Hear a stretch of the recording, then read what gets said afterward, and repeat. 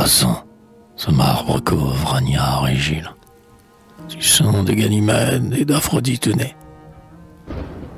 Le noble Hérode aima cette fille d'aînée. Heureuse, jeune et belle, elle est morte. Plein là. Car l'ombre dans le corps de l'issue Gila, je la pense infernale de l'île fortunée, compte les jours, les mois et la si longue année. Depuis que loin des siens la part que l'exila. Hanté du souvenir de sa forme charmante, l'époux désespéré se lamente et tourmente, pourpre sans sommeil du lit d'ivoire et d'or. Il tarde, il ne vient pas. Et l'âme de l'amante, anxieuse, espérant qu'il vienne, vole encore autour du sceptre noir que lève Radamante.